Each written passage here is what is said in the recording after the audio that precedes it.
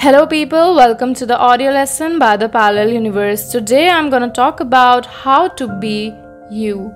You don't need to prove yourself to anyone. You don't need to spend your energy trying to earn others' acceptance or waste your time trying to explain yourself.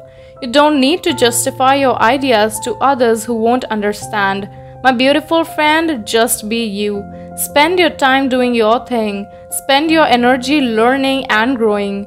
Pour yourself into your ideas and dreams and let go of what others are saying because, in the end, it just doesn't matter what they think. It only matters what you think.